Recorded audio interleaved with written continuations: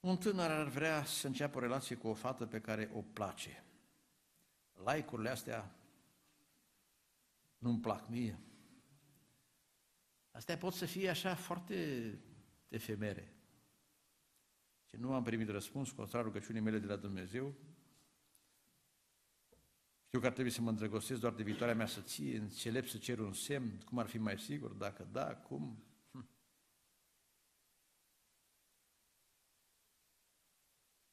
Dragi tineri, ce iubiți voi la o fată?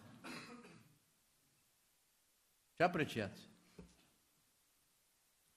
Îmi vine în minte o familie care n-a conviețuit mult. Și l-am întrebat pe el cum ai reușit să iei o asemenea femeie pe care n-ai putut să o duci acasă la adunare niciodată după nuntă. Și am luat-o că a fost frumoasă. Dar ea cum de s-a dus după tine? Am, fost, am bani.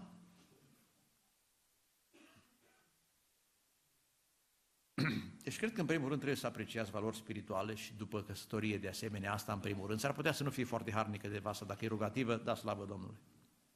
Dacă e vlavioasă, bucurați-vă. S-ar putea să fie câte una să muncească cât două, dar să nu știe, spune psalm prea mulți. Deci, în primul rând, apreciați valorile sfinte, înainte și după, iar în ce privește alegerea partenerului de viață, m-a întrebat odată un tânăr, o zis, frate, dar dacă mă duc eu la un proroc bun, ce proroc îmi indici că vreau să iau o fată bună? I-a spus, băi băiete, astfel, o asemenea șmecherie încă nu s-a inventat. Ca oricine să poată alege cea mai bună fată. E riscant să întrebi pe Dumnezeu când tu nu ești în relație bună cu Dumnezeu. S-ar putea să, să răspundă cum a răspuns Dumnezeu la evrei pentru Saul. Dumnezeu știu ce vor ei. Un înalt, chipeș, bun de război, o tras la sort și o prorocie și așa au fost, dar nu a fost bine. Da? Când întrebi pe Dumnezeu, și îți poate răspunde în diverse moduri, depinde de modul tău de raportare. Lui Iosif Dumnezeu a vorbit prin vis. La cineva poate să vorbească printr-o profeție, printr-un semn. Dumnezeu, are, Dumnezeu vorbește când într-un fel, când altul. Cum se vă spune numai un anume fel? Depinde de relația ta care o ai cu Dumnezeu. Primul rând să fie una bună și apoi baza încrederii tale în Dumnezeu. Să dobândești siguranță.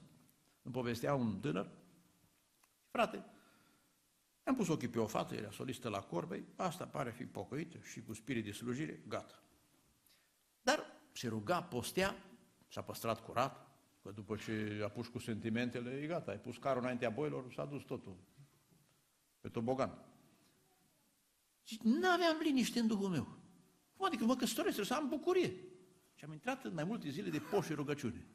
Mi-a mărturisit exact acea persoană, deci nu spun chestiuni la mâna a doua. Deci în ultima zi de post am primit un telefon. O voce care vibra. Frate, discus cu fata aceea, vede căsătorie, da. Du-te repede la adresa și eu indicat.